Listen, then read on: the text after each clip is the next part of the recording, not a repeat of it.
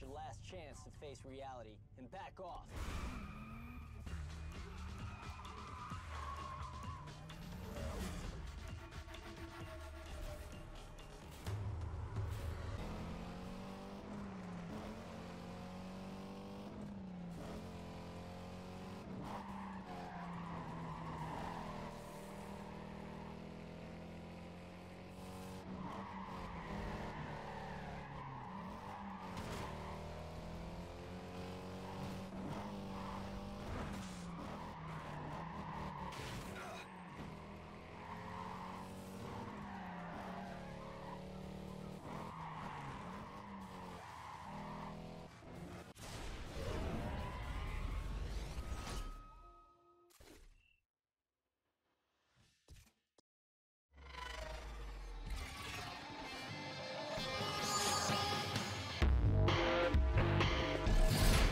punk.